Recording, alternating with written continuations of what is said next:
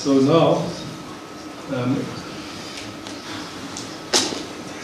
so what are the interventions that our government is undertaking to restore energy security? There's four that I would like to highlight. The four that are instruments that are being used is the first is there's a planning instrument called the Integrated Resources Plan.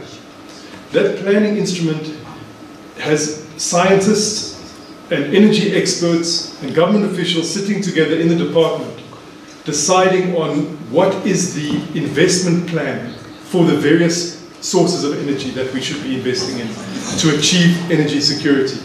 It's informed by two major imperatives. The one is what is the lowest cost to get there? Obviously, as economists, we're always concerned about low costs.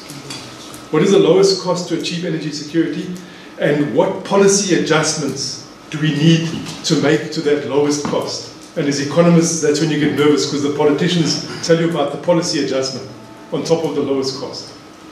So the lowest cost instrument is saying that is called the Integrated Resources Plan. And through that plan, the government intends investing in 30,000 megawatts of new electricity. So I said we've got an expensive problem of an energy shortage. It's broken our growth model. It's broken.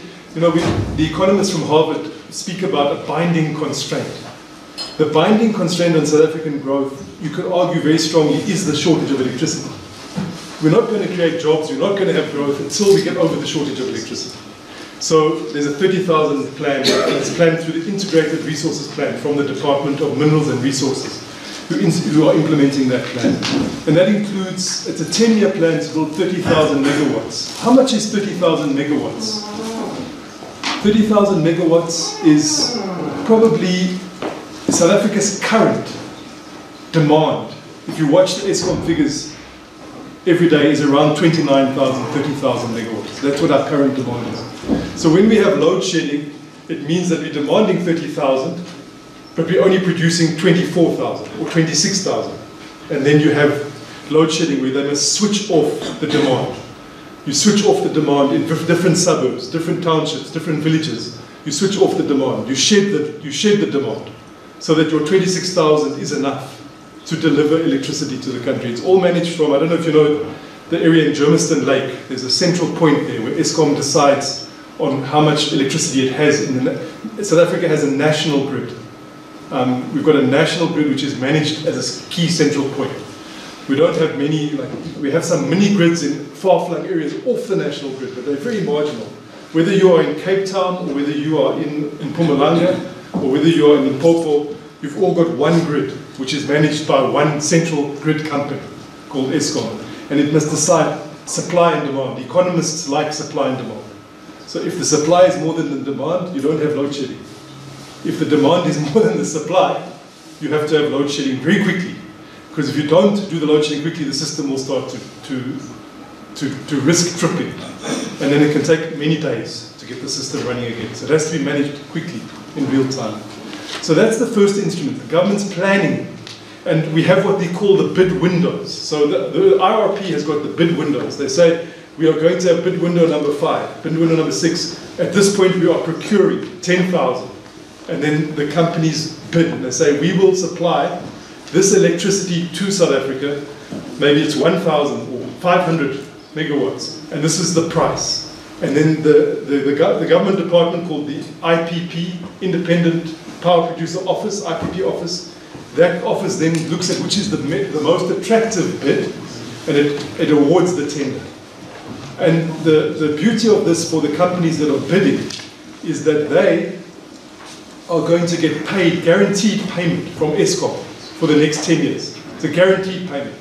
So you bid, you say, I'll sell it to Eskom for 10 years through my solar plant, or through my wind plant, or through my um, uh, battery plant, whatever, whatever it is that you're bidding, and you get a guarantee. So this is, this is the main instrument. If we talk about the central planning of the solution, it is being centrally planned through the IRP, the Integrated Resources Plan. It's the number one instrument. But it's hitting up with some serious constraints. What are the serious constraints? The one is our fiscal position. Our fiscal position. Because all of this is guaranteed, because it's guaranteed, it costs the fiscus on, if you look at the, the guarantees on our fiscus, it costs on the fiscus. So because of that, it costs on the fiscus.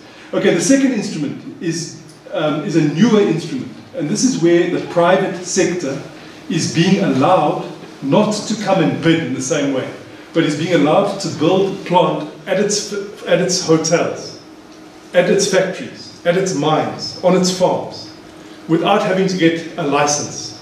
Before there was a very strong license regime. Trying to, we have a monopoly. There's a monopoly that says only Eskom can make power. That's the law. Only Eskom can make power. The, the law changes says no, you can make power without a license, up to 100 megawatts. This was a reform that came into place in South Africa during the course of last year. And it's because of the, the fiscal constraint on the government through the IRP, this is seen as a very um, nimble and quick response to try and protect the jobs, protect the factories, protect what exists already by ensuring that those firms that are being compromised because they don't have electricity can have electricity if they're prepared to pay for it. The third is an emergency procurement program. This was done during the, the, the stage six load shedding that affected South Africa in December 2020. 2019, there was an emergency procurement that took place. And uh, the emergency procurement is the one that includes a number of programs, including ships being pulled up to our harbors and being plugged into our national grid.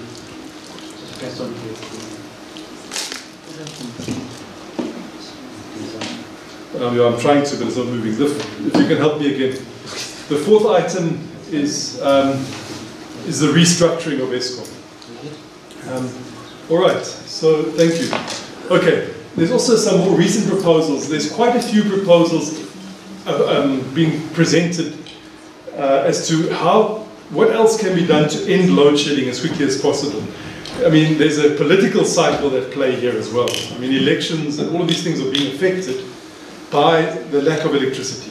Um, there's an argument that the local government elections that took place in 2021 were seriously impacted by the shortage of electricity. So if you've got a plan that says by 2030 we will solve the electricity crisis, and you've got an election in 2024, it can cause one to say, well, maybe we should come up with additional interventions to try and improve the situation. So there's quite a number Within that framework of the four major interventions, there's more rapid kind of what more rapidly can be done to secure the electricity supply in the country, which is costing us so much economically and politically. Um, the one is that this bid window should be accelerated. So the bid window, is the RP instrument itself should be accelerated. The second is that the RMIPP design should be improved. Um, the third is that this is a controversial one and I'm speaking to the, one of the DGs on the way into this meeting now, that the local content requirements be limited, at least for a time. So if you think about this, if there's a local content requirement on, for example, solar panels, or there's a local content requirement um, on the, uh, the, wind, the, the wind turbine machinery, it's a sequencing problem because if it's going to delay your addressing the electricity shortage, then you'll say, well, rather let's bring in imported items, get the electricity flowing, and then once that's happening, and once the investments are happening, because there's going to be investment over 10 years, we can say, okay, now we're suspending that and we want to have local content requirements again. Because the argument right now is that if there's a local content requirement on some of this technology, it's going to further delay the investment because we don't make some of those things in South Africa.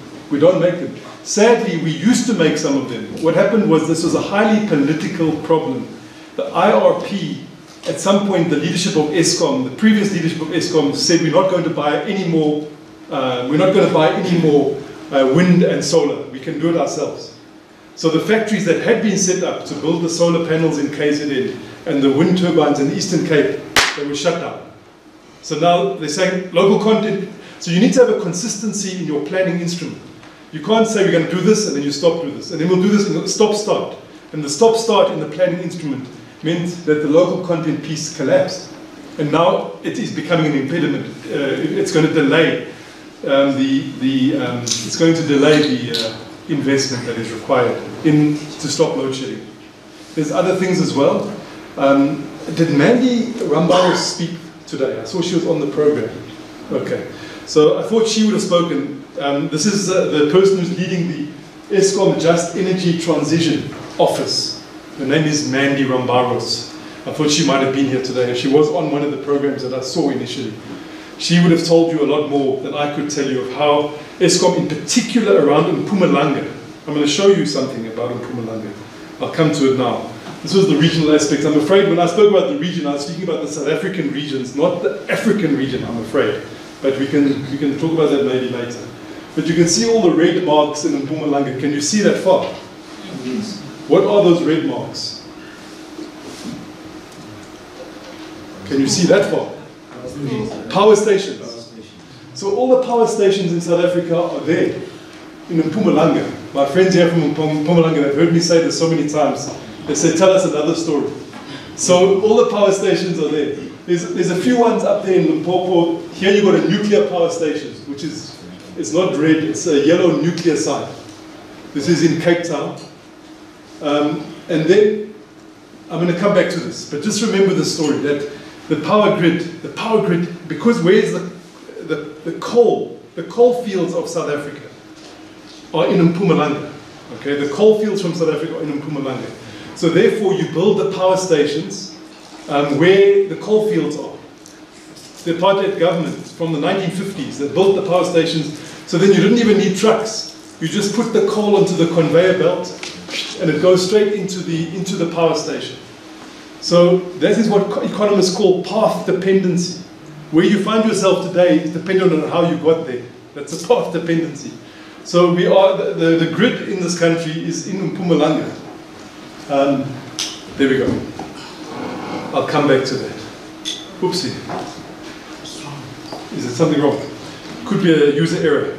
So, um, so the, the, the Eskom Just Transition Office is putting a lot of effort for example, they're saying we're going to give the land, we're going to make land available around Mpumalanga so that new um, wind and solar plants can be built on this land and can be put into the existing grid. And the purists say, no, don't do that. The best sun in the, in the world, the best sun in South Africa is not in Mpumalanga. Where's the best sun in South Africa? Northern Cape. So Northern Cape you must build it in the Northern Cape. And they say, no, no, no. We're prepared to go for the second best sun. Because the second best option is already the grid there. You understand? So it's going to take many years to build the grid to the Northern Cape. Because there was nothing in the Northern Cape, just some cattle. Now you're saying there's the sun there, there's no grid. okay. No offense. So I'm very biased towards Mpumalanga. They've, they've treated me well. So, all right.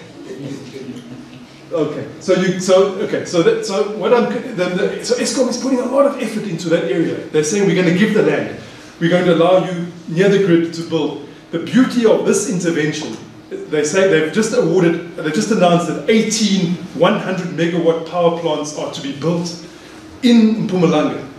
No fiscal expenditure needed, no government guarantees needed. It's like these old ages say, if you build the hotel, they will come. You build the hotel, they will come. Look at this hotel. They built it, you came. Okay? So you build, you build the power plant and people will buy the power. There's no risk for the government. It's, all the risk is on the private sector. All the risk is on the private sector. Now this is not how we would have done it. But they say necessity is a mother of invention. We wouldn't have done it like this. We had, we had central planning, Chinese style, IRP, Eskom, monopoly. We would have done it like that. But because you're in a crisis mode like this, and you need electricity really quickly and you don't have fiscal space, you're finding that Eskom is doing its just transition work, as I'm explaining to you, and they're allowing companies to invest, and those companies are, are being told you must sell it in the open market. Sell it in the open market. People will buy your power. So it's a major change that's underway. I know you think this is a, uh, you've heard this before, but you can hear it again and again. It's a major, there's a transition. There's an energy transition. I can say it 10 times. There's an energy transition. There's a trans transition. Things are changing. And they're changing. There's a, there's a deregulation. So there's a technological change. There's a, and there's a, a, a, regulatory change. And therefore, there needs to be a structural change. So Eskom will be restructured. Eskom is this mega vertically integrated utility. It now needs to be broken into pieces in order to meet this new situation. What are the three pieces of Eskom? The first piece is the generation piece. That's the one that makes the electricity.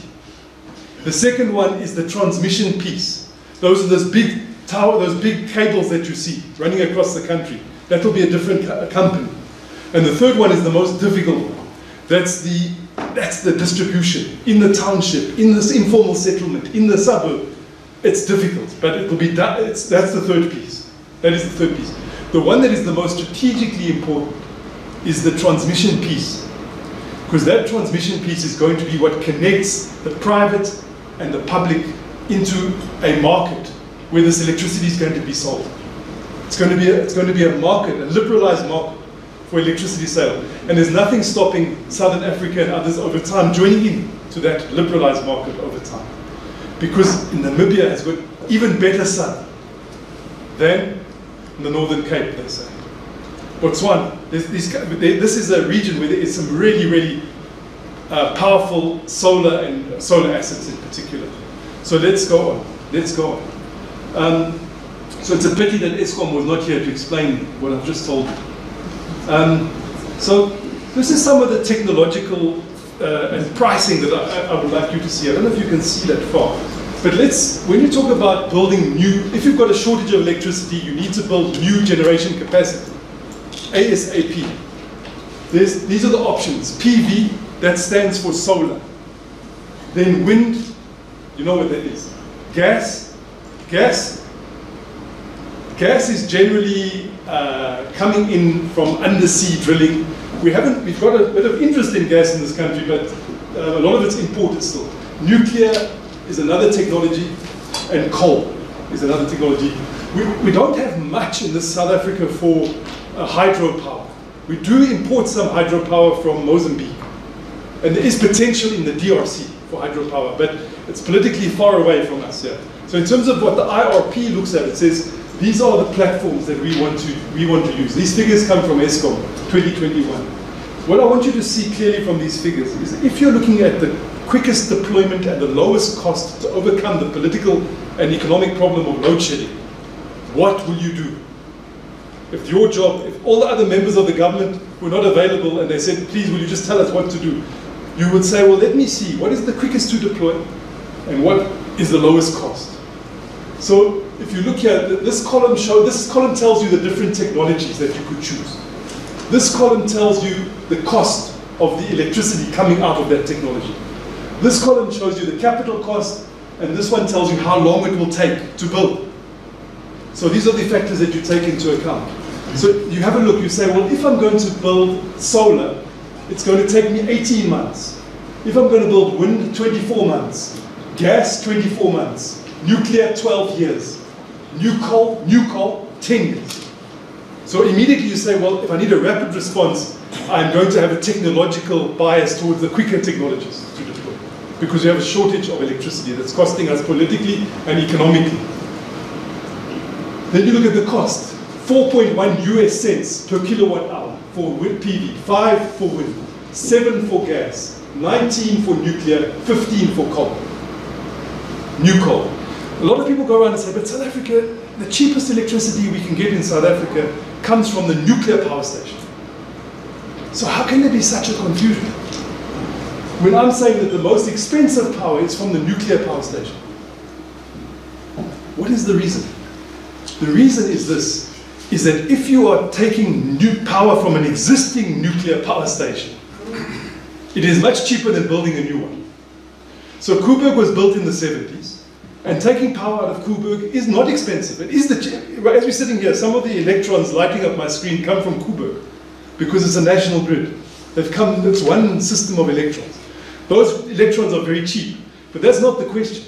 The question is, how do we build new capacity? And what is the cheapest to build new capacity? And that's a different question. And if you start building new capacity, then those are very expensive technologies, and they take a very long time. I have no doubt there's some benefits of those technologies. You know, you can have nuclear medicine, which we have in South Africa, that's used at our Safari nuclear reactor in Pelindaba, very good. You can have, you know, there's many things you can do with that technology. There's skills, there's training, but that is not my question. My question is, how do we overcome load shedding? Now, as quickly as possible. And then it's less academic. Then you say, what is the quickest, what is the cheapest? And what areas do we do it in? So this is an important slide for you to think about deeply because it's caused, it's become an extremely um, toxic discussion. And it doesn't need to be so toxic. You know, if you can just get down to what are we trying to achieve here? What are we trying to achieve? We're trying to overcome load shedding. That's our immediate priority. All right. So coming back here to this Mpumalanga question, as I said, there is the grid of the country. All of these cables, wires here, they join up the national grid. The, most of the power stations are in Mpumalanga because that's where the coal fields were. So it was cheaper to build the power stations right there next to the coal fields. If you've been to Mpumalanga, you can see there's a coal mine power station, coal mine power station. And then once it's in there, it goes into the national grid. The electricity goes and serves the whole country from Mpumalanga. So if you want to not only build the, the cheapest and quickest to deploy technologies, you want to build it in the area where there is the grid. If you really want to overcome load shedding before 2024 election, you build it where there's the grid. Even then it's going to be difficult. Even then I don't think so. I don't know if we're going to make it. And the political consequences of that are serious.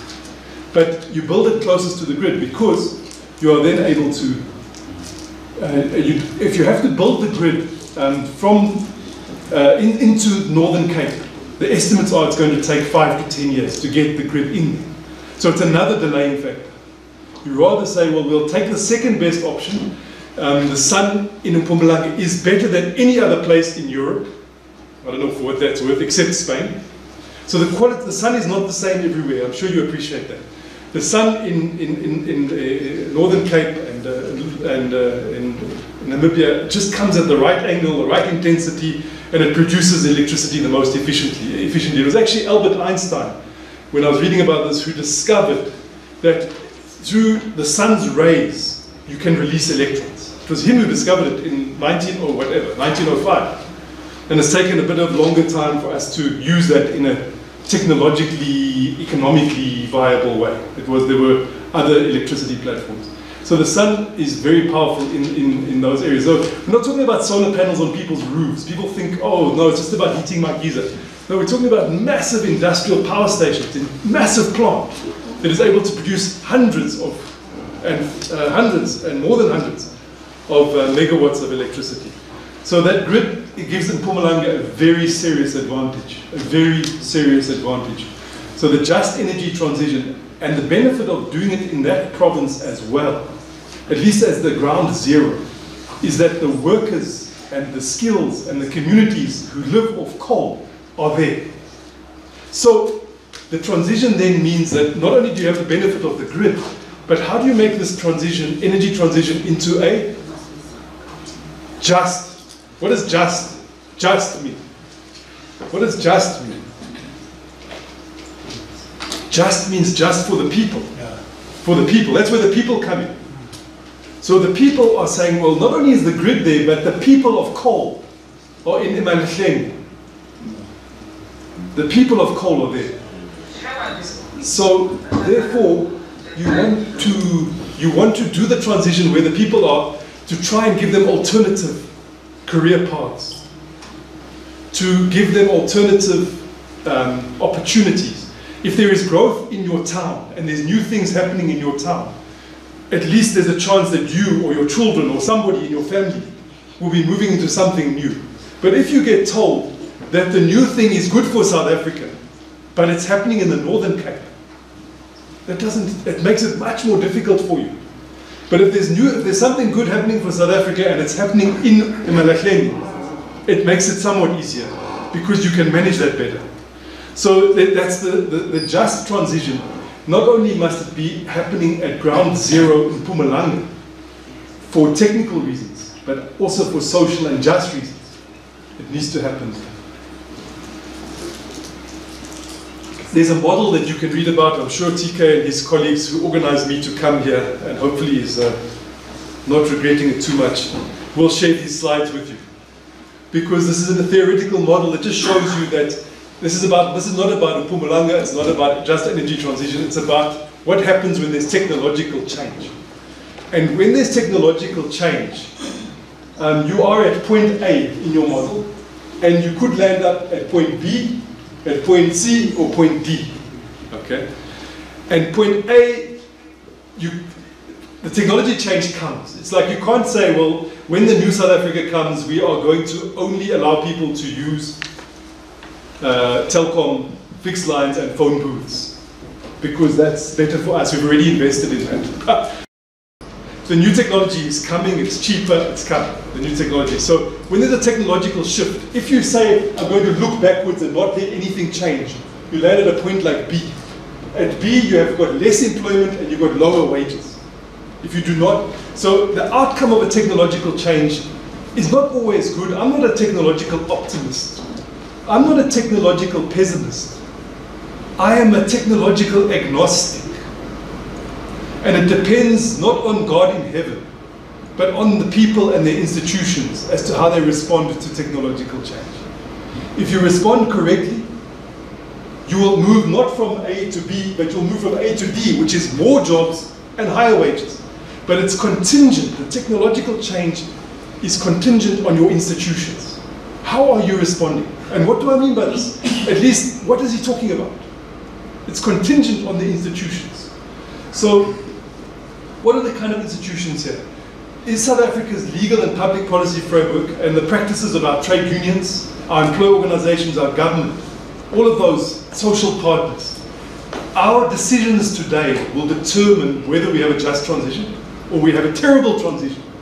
Because if we have a terrible transition, we will have a shortage of electricity, we'll have political turmoil, we'll have rising inequality, and only the rich will have electricity if we don't manage this problem. Because we're allowing the private sector now. We're allowing the private sector. So only the rich, only those who can afford will be like private school, private healthcare, private everything, private electricity. We, if we do not manage this problem, we have to manage it in a way that we say, forward looking, we can see that this is coming. We are going to allow certain restructuring and transition to take place. But we have to be, the key word is forward looking. Forward looking. I get so many people seem to be resisting change, resisting. It's like the boy who put his finger in the wall when the water was coming and saying, I, am stopped the sea. You it can't stop. This transition is coming. How do we respond? We start to build around that inevitability. We build um, new factories, new industries, new technologies. It's got to be forward-looking. And if you have that forward-lookingness, if you say our unions, our employers, our government is forward-looking, we are more likely to have a better outcome but as I say, it's contingent. We can have a terrible outcome. If we mismanage this transition, we can have a terrible outcome. It's as likely, I think it's 50-50, maybe less than 50-50 that we're going to achieve a just transition. I think we're probably not going to achieve one. And maybe we should change the lecture slides to why we didn't, why we are not going to achieve one. Because it looks to me that many things are falling, falling short because of some people who are not understanding what is at play in this transition. We need to be forward-looking. So some of the risks that um, need to be reduced, public resources are mobilized for this reskilling of workers. Are we going to do that? Um, are public utilities being repurposed um, so that we can use the capital um, that we have, the, the, the, grids that we have, the factories, the power plants? Um, are policy frameworks being operated efficiently? Uh, so we're talking about the IPP office the IRP, government departments, are they efficient? Can they make this licensing procedure accelerate like they need to? Or are they going to continue to be slow? Are they going to continue to be inefficient? Is there going to be the allegation of corruption like with the car ships? Because if, that's, if that management falls apart that transition, then you'll end up with the outcome that is not going to be very beneficial and only the rich will have power. So it is a very serious moment as to whether the outcome is contingent. What does contingent mean? The outcome depends. And who does it depend on? Depends on the social partners. Depends on the social partners. And I, I, I wish the social compact in South Africa could focus on the just energy transition outcome. Because if we get that right, our children will be better off. If we get that right, they'll be better off. If we don't, they won't. It'll just be more of the same, if not worse. So it requires a forward-looking, uh, forward-lookingness and not a backward-lookingness. So then I want to change tack a little bit. I heard there was an economist in the room, which is very exciting to know. And there's some readings that I'm going to refer to at the end of the paper here that you can, uh, you, dis you distribute the, the readings. I'm just drawing on some insights. So the first one was by myself. This is me. A paper called A New Economic Growth Model for South Africa, the role of a well-managed, I should have said contingent, energy transition, published by Mapungubwe Institute for Strategic Reflection, MISTRA. So that's the first paper that TK has sent you. How, how did you send it? At the bottom on the USBs. On your USB, okay. But you don't have to read that, because I've already told you about that. Then, um, the, the next one is, uh, the, the, this one, this third one, uh, is a very recent paper. It's just come out last week. And I drew on some of the more recent, like, what must we do urgently to deal with the load shedding in South Africa? So, um, 20, uh, insights from 2021, South Africa's worst load shedding year so far, June 2022. You can read that one. That's just immediate. Now, what, what must government do now? To, so that by the time the next election comes, at least there's more power in the system. What do we do now? Uh, and then the middle one is more academic for the economists and the aspirant among you, which is by a guy called Jean Pisani Ferry. Not Fourie, but Ferry. I don't know how you say that. I don't speak French. Now, it's a policy brief on climate policy is macroeconomic policy, published by Peterson Institute for International Economics. Now, I'm a macroeconomist by training, uh, but I've had to learn about energy really quickly. When there's a shortage of something, it's, it's good to learn about it. Now, this paper says that climate policy is macroeconomic policy. So that's wonderful for somebody like me, because it's saying you're just learning the same thing. All right, so that's the last paper I want to talk about. Do I have more, a few more minutes? Okay. So what does he say in this, this Mr. Fourie, Fourie, Pisani Fourie? So you can read it, and it's not long. Um, read it, uh, it's about seven or eight pages, very nice, a little summary of the issues. Why is uh, climate policy macro policy? So he makes a few good, good points. He says, decades of procrastination have turned the expected smooth transition into what, uh, into what is likely to be an abrupt one. So we all know this. If you don't do something, you're going to have to rush at the end. So like, let's say you have to get your hair ready for something. I wish I had more hair.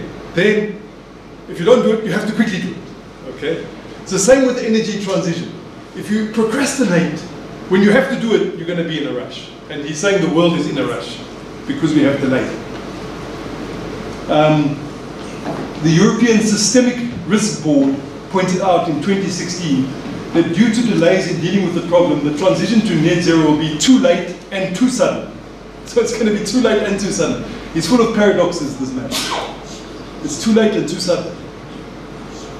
And he says the key instruments that will be used will be the pricing of carbon. So I said economists are concerned about relative prices.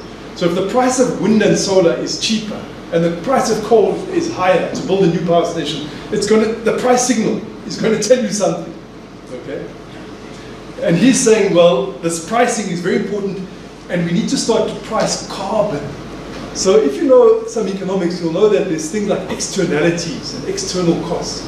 And if a price signals don't work properly, price signals don't work properly if you don't internalize the costs. And for the whole century, when you before, when your grandparents were meeting each other, and your grandparents' parents were meeting each other in the early 1900s and 1890s, wherever they might have been. For that whole century since then, we haven't priced carbon correctly. We've been thinking it's really cheap to put petrol in our cars and to burn coal. But the price of carbon has been reflected in the changing atmosphere. We never caught that price. And now that is catching up with us. So the price of carbon is going to be changing.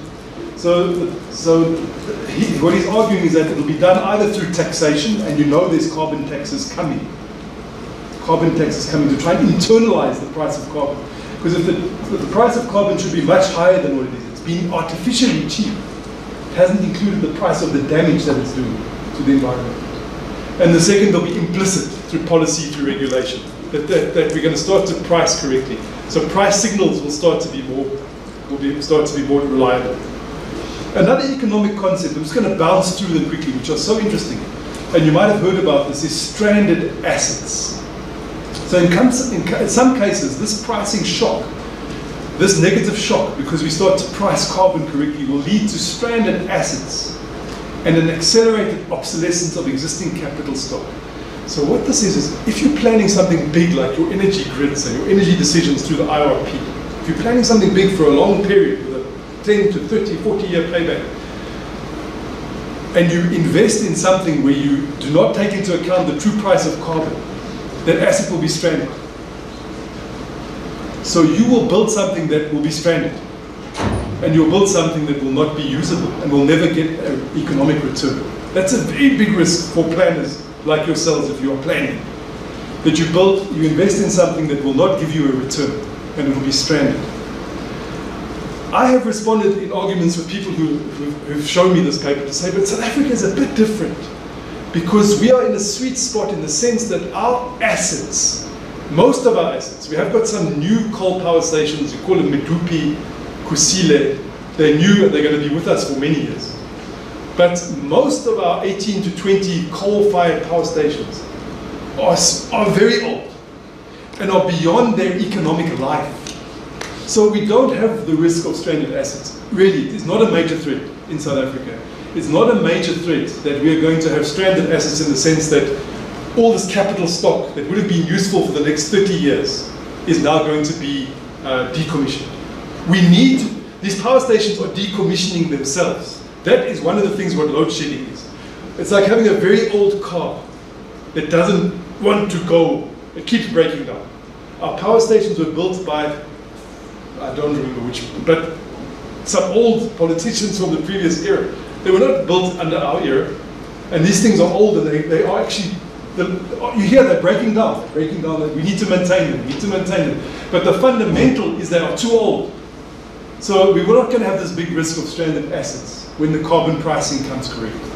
The one area where I'm quite worried about stranded assets, and this is a bit of an aside, is on petrol and diesel. Now, South African refineries, this is, I don't want to go too long into this, because this is not really the, the electricity sector. South Africa's got these really big oil refineries. So we bring oil from Iran, we bring oil from all these different countries into our refineries and we make petrol and diesel and kerosene. And those refineries are closing down. They're closing down. And there's a big political debate should we let them close down? Why are they closing down? And they say, well, we as market forces are telling us, there's, well, there's new regulations. There's new regulations. There's new regulations for how much uh, the diesel, how many particles uh, can be in the diesel. And you get 95, 94, 93, the different diesel levels. And Europe is driving these new regulations for diesel. The engines that are being built require a better quality, a better quality. So these, these refineries are saying, no, no, we, we can't, it's not economic for us to invest in this new technology. We'd rather just import a refined product. It's a major thing. Then some of our people say, no, no, no, let's, let's rather the state buy the refinery. We will take it over. We need to have a refinery. And they'll give you good reasons why we need to pay for a refinery. Because we need the kerosene, we need the bitumen, we need all of the byproducts, we need to beneficiate, we need industrialization. But there is a risk of stranded assets. Because if you build, if you input uh, taxpayers' money into a 30-year refinery project right now, there's a, there is a likelihood, there is a risk that that asset will not pay for itself. It will be stranded. Maybe electric vehicles will come. Maybe the standard of the vehicles that we have won't take that diesel. We'll say to the farmers, you take it for your tractors. But the market will be. So we must listen to that pricing. There's a risk of a stranded asset there, and it's very much in play. As we speak, it's in play. It could be such as you hear, well, my minister said, no, we should actually put money into this now. We must buy that refinery. I would say we must be careful. So the energy transition is mainly about electricity, but it's also about liquid fuels as well, and gas. Um, then the paper talks about consumption versus investment. It says a carbon price will trigger new research spending, new infrastructure spending, accelerated renewal of equipment. Uh, the rate of economic growth may not decline, says uh, Mr. Mr. Perry, but the composition of that growth will be affected. There'll be higher investment and lower consumption. And they, this is how they frame their just transition in these rich countries. They talk about the fact that the consumer may be negatively affected by this energy transition. The composition will be more into investment, less into consumption. And they, they say, well, if there's going to be a carbon tax, that money must be used in just transition, in the social fund. So the carbon tax money mustn't be used elsewhere, but must be used in the just transition, because the consumer is the one who's going to suffer. What about impact on public finances? What does this paper say about that? In many cases, the impact of the energy transition will be negative um, assistance, uh, sorry, uh, will be negative, and assistance will be required uh, where government will have to allocate fiscal resources to support vulnerable households, as I've said, due to the regressive impact of the carbon tax. South Africa, we need to again apply this idea. So what they're saying that's going to be bad for the fiscus because the fiscus is going to have to assist in, the, in funding the just transition in these rich countries. But in South Africa, it might again be a, a different case. If we're saying that our energy transition is happening on the in the context of a shortage of electricity, then if the energy transition can bring on stream new electricity and reduce load shedding, the fiscal effects of that will be positive, not negative. Because the, the shortage of electricity is leading to low growth, low employment, all of those. So therefore, the, and the fiscus obviously suffers. If you, if you do not have um, growth, then your tax uh, revenues are affected by that. So I've said the stranded asset case doesn't really apply to South Africa as it's been argued in this paper. And I think the fiscal argument doesn't really apply directly because it's not only a negative fiscal effect of the transition if it restores energy security, then the fiscal effect is improved. So the decarbonisation will have distributional consequences, impacting on the consumption of poorer households. Um, and therefore the revenue from carbon taxes or carbon permits should be redistributed to those negatively affected. Um, it should not be viewed as a new source of tax for other purposes. In addition to the paying for the cost of mitigation by promoting the energy transition, taxes should be used to contribute to the cost of adaptation to climate change. So there's two different elements where this resources will be required. One is in mitigation, or changing our energy patterns. But adaptation is a new problem because climate change is already happening. Climate change is already happening. Areas that are dry are becoming more dry. Areas that are wet are becoming more wet. We've seen floods and such. So part of the money that is required for, uh, um, for dealing with the effects of climate change must be about adaptation. Are the water flows correct? Are the irrigation schemes correct? And those are all linked to, if there's going to be that carbon tax uh, that, these, these authors talk about, should be applied to those, to those as well. And then lastly, lastly, is about technological change again. Um, once you have the technological change and you are using uh, low carbon sources of electricity, that um, can be used to create new industries and new exports. So there's a lot of talk, for example, about the hydrogen economy. How does the hydrogen economy relate to this? Just as an example, there's also electric vehicles. It's another another new, new area that can open up. So through having renewable energy inputs, whether it's wind or solar or low carbon inputs, you are able to split water, and it can be dirty water, it can be seawater. You can split water into its two components, which is H2O. So you split it into hydrogen and oxygen in an electrolyzer using the, the energy from the sun. That hydrogen is a fuel which can be put into trucks. I don't know if you remember the president went to Mogalakwena, I think it's the, the platinum mine, and drove a hydrogen truck not too long ago. Hydrogen powered truck. It's a fuel. So you are then able to create a fuel source. It's a gas, hydrogen gas. And some people, it's a very volatile gas. It's a very dangerous gas on its own, but you can manage it. And some people have made liquid forms of this hydrogen gas. So it can literally be a fuel that you put into hydrogen. Uh, now, a country like Namibia is ahead of us. I always talk about how Mpumalanga has got potential, but Namibia has seen the opportunity to export hydrogen gas up the coast of Africa into Rotterdam. And then the Europeans can start to use hydrogen gas and don't have to buy their energy from Vladimir Putin. And they are working on this. They've got the sunlight, they've got the power, they've got the ability to do it. And that's an example of what South Africa's thinking needs to be. How do we begin to open new sectors? Like, there's never existed in our lifetime that you could have a real hydrogen gas sector. Exporting, massive potential. Just from taking, it's basically taking solar energy and making it into hydrogen gas through that process of, uh, of the electrolysis, electrolyte. So that's a new sector. There's, and there's other new sectors as well that can be opened up. Also, the, um, there's, there's the carrot and the stick. So I'm speaking about the carrot. But there's also the stick, where some of these countries are saying they're not going to allow free trade as if you are a heavy carbon economy, they're going to start putting duties on you. So South Africa is a heavy carbon economy. So what they'll say is, whoa, your Sasol, Sasol, Sasol is going to start making hydrogen. Thank goodness. Because those Sasol plants make more. If you had to fly over the world on a spaceship and look down at the carbon production patterns, those Sasol plants are producing carbon like you cannot believe.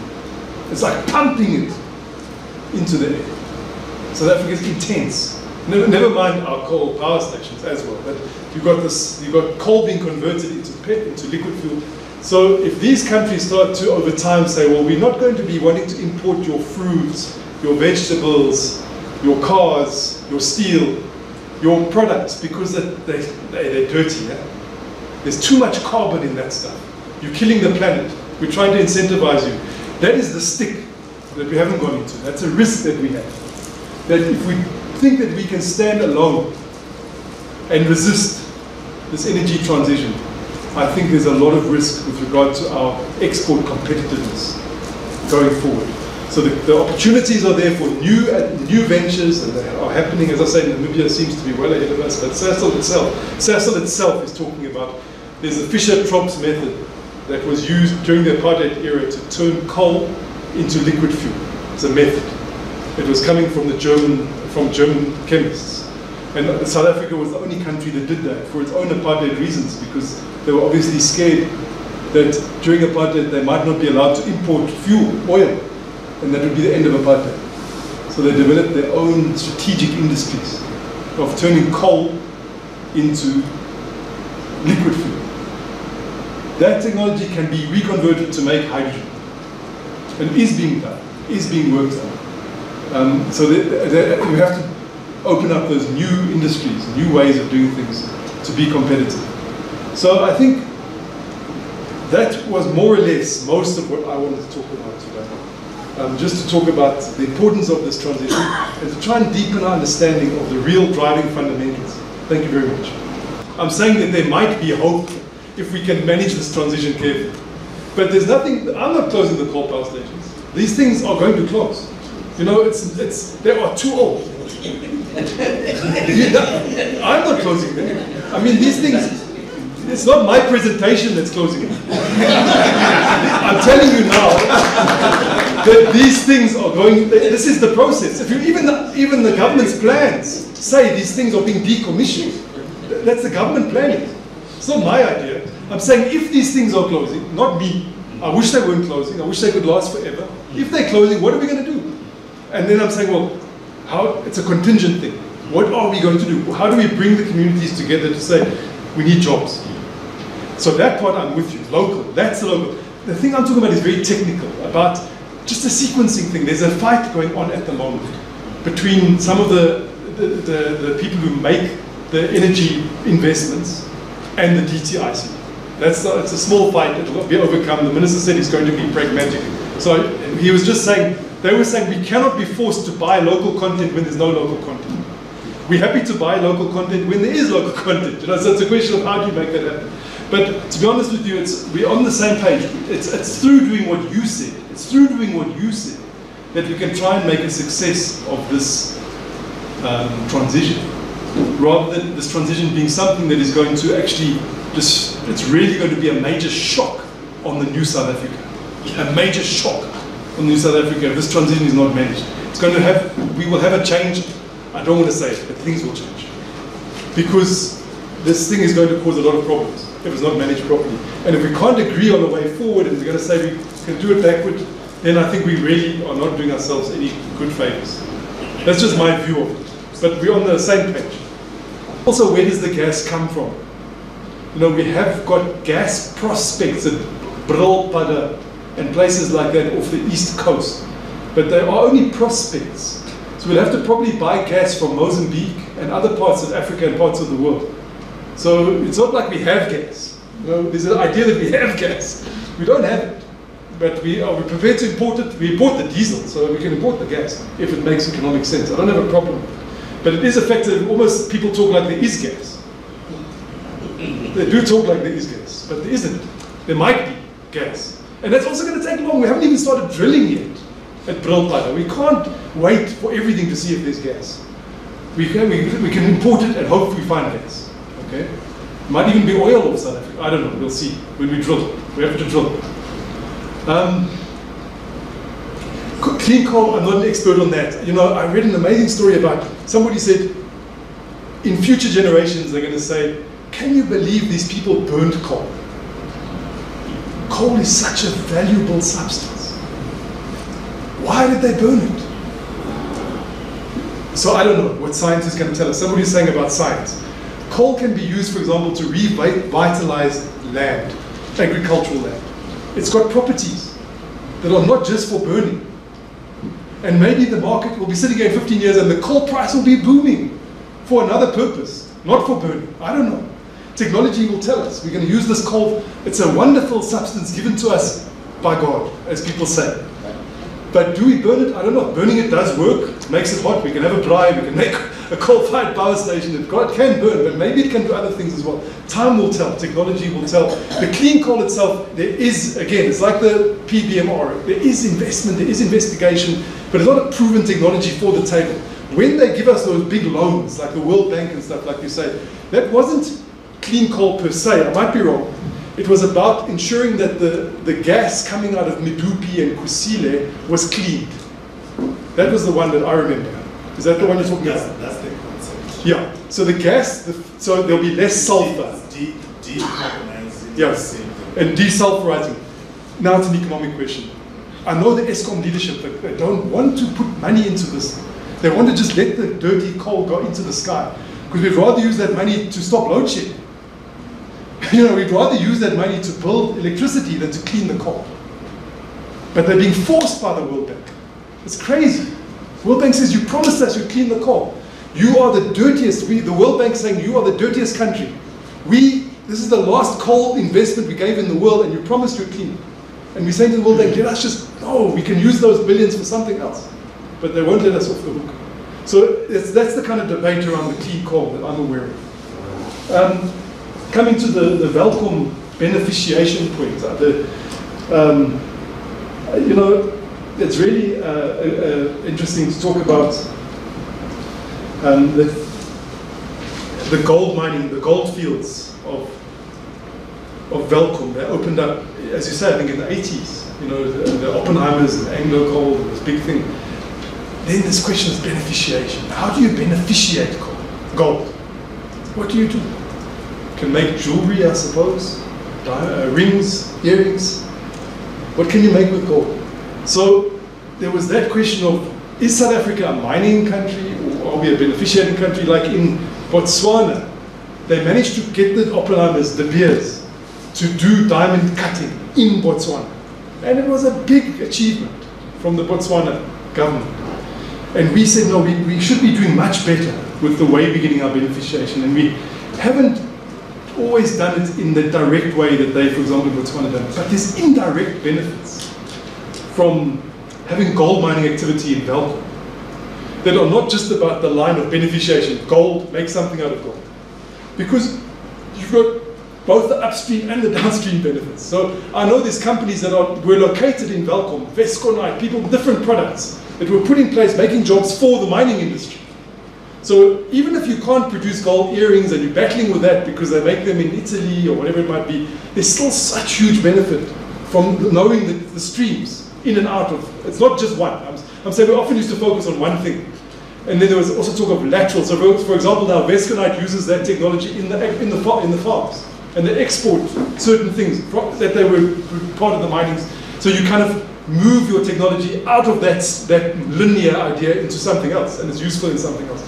So, yeah, so I, I, I think what Welkom should do now is to have, it should invest in renewable energy in that area. You know, that, that will help to create the jobs that I'm talking about from Mpumalanga.